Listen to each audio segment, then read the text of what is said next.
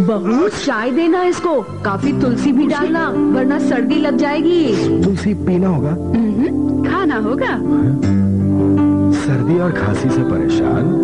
लीजिए शुद्ध निचोड़ जांची परखी नई हिमालय तुलसी।